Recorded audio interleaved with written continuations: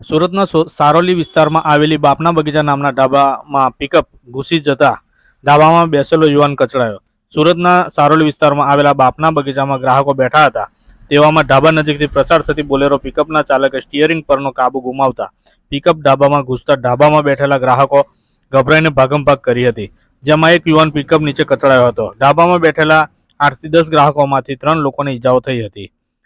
એમાં એક વ્યક્તિને ત્રણથી ચાર જેટલા ફ્રેક્ચર થયા હતા. જ્યારે પિકઅપનો ચાલક પિકઅપ ત્યાં મૂકીને ફરાર થઈ જવા ગયો